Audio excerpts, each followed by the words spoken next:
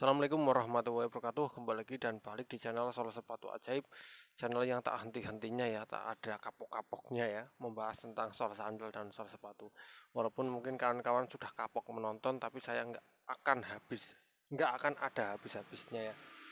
Dan di kesempatan video kali ini saya akan mentutorialkan Cara menjahit yang tidak terlihat ya. Ini menjahit selempang ya Tapi nggak terlihat. Ini Sebenarnya sandal ini sudah dijahit ya, tapi kan kawan nggak lihat kan di mana ada jahitannya tuh ya.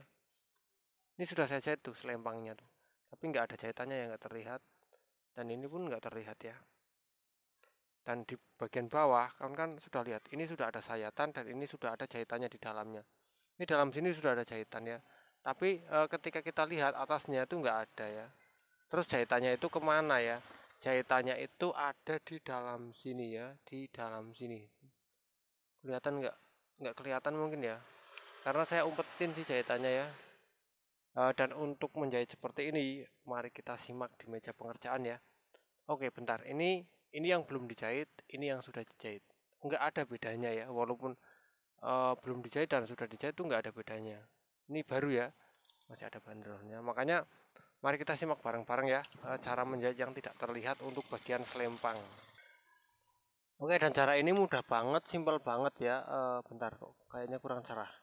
Oke ya, cara ini gampang banget, simpel banget. Caranya kita tinggal sayat ya. Bagian bawah pakai alat penyayat seperti ini ya. Bagian bawah ini. Sayatnya itu sesuai ini ya, sesuai selempang ya. Jadi jangan terlalu ke depan dan jangan terlalu ke belakang. Jadi sekitar segini dan segini ya, karena yang mau dijahit hanya selempangnya saja.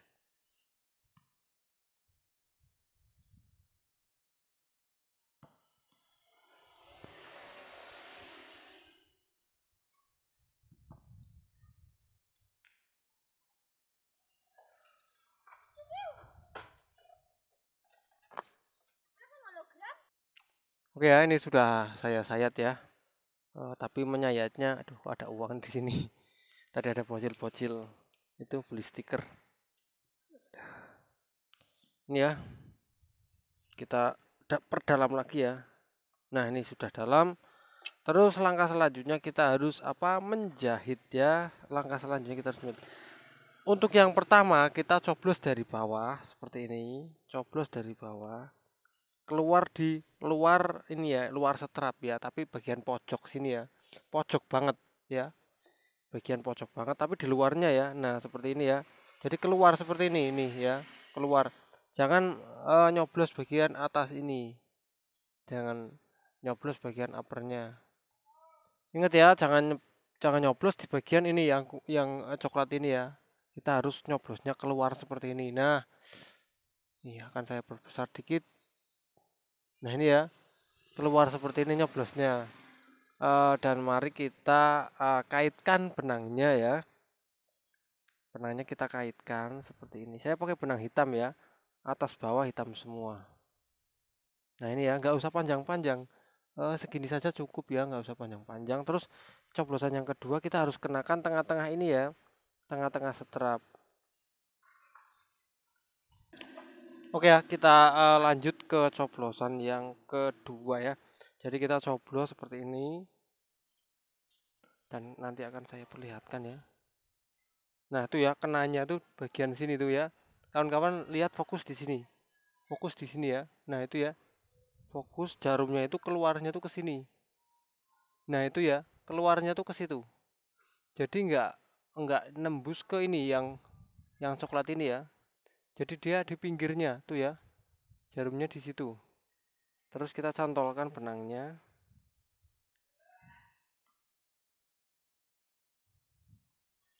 Jadi untuk jarum tuh nembusnya tuh enggak di enggak di yang uppernya ya biar enggak terlihat. Bang apakah itu kuat? Ya kuat. Bukan kuat tapi kuat banget ya. Kuat enggaknya itu sebenarnya dari ini dari benang kita. Kalau kita pakai benang yang bagus mereknya bagus dan kualitasnya bagus ya hasilnya akan kuat. Ya. Ini saya perlihatkan lagi nih keluarnya jarum. Ini ya. Nih keluarnya jarum nih. Lihat baik-baik ya. Ini ya kalau nyoblos lurus seperti ini dia akan kena apa ya? Ini dimiringkan seperti ini ya. Jadi ininya tuh miring ya miring keluar jadi dia akan keluar seperti ini ya keluarnya akan karena ini miring ya lihat ya miring. Jadi dia nggak lurus. Jarumnya tuh miring. Kalau jarumnya lurus pasti kena bagian ini bagian yang coklat ini ya. Jarumnya tuh miring.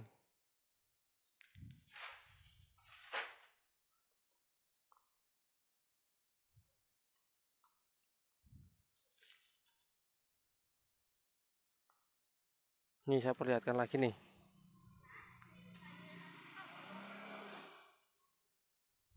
Kalau kena bagian coklatnya harus kita ulang lagi, tarik lagi ya. Jangan sampai kena. Nah, ini ya. Ini dia ya. Seperti ini.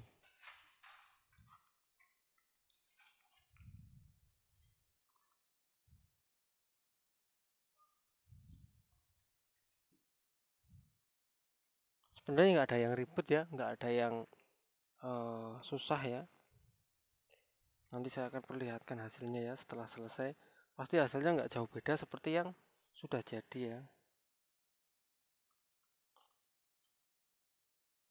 Dan ini yang terakhir ya ini titik terakhir ya titik sayatan terakhir di sini. Nah ini ya. Jadi kita coblos di sini. Kenakan di akhir juga ya. Akhir tuh mana? Akhir tuh titik ini ya. Nah ini titik sini. Kenakan di situ. Nah ya keluarnya di sini. Kita tarik dan kita kunci jahitannya ya. Ini di sini kita harus mengunci ya. Sisa benangnya pas ya karena panjang benangnya tadi kita sudah ukur ya. Kalau terlalu panjang itu mubazir benang kita. Yang penting sisanya tuh masih bisa cukup untuk menali ya. Nih. Hmm, semua jahitannya masuk. Tinggal kita memotong bagian bawah dan bagian atas benangnya terus kita memasukkan lagi benangnya agar nggak terlihat dari luar.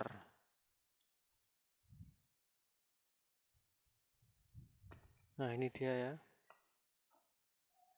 Nggak apa-apa dari bagian bawah itu terlihat nggak apa-apa santai aja.